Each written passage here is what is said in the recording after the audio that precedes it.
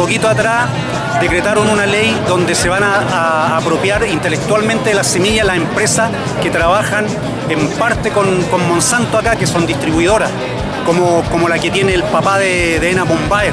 Él tiene una empresa de semillas y ellos están eh, contaminando nuestro, nuestro suelo con la, con la semilla genéticamente modificada ya por lo menos estamos sabiendo y se está presionando al servicio agrícola ganadero de que diga dónde están los cultivos de, semillas transgénicas. Sabemos que en la sexta región ya hay cultivos. ¿Y cuál es el perjuicio de esto?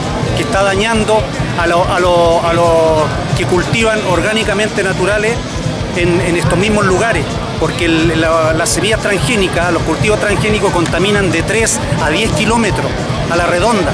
La contaminación cruzada que producen los transgénicos contamina nuestra semilla, que ya no va a volver a ser la misma, va a perder toda su genética de miles de años.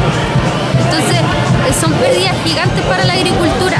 La agricultura debería ser eh, algo que sea consciente con el sistema, sea amable, que pueda ser tan diversificado que sea un ecosistema estable. Entonces es importante que la comunidad se informe. ¿De dónde provienen sus alimentos? Que pregunta. Que no se contaminen. Que no coman más carne.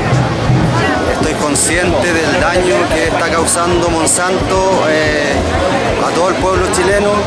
Eh, está pasando viola, los políticos no están haciendo nada y somos nosotros la gente la que tiene que empezar a juntarse y organizarse para poder cambiar las cosas. Es la única forma.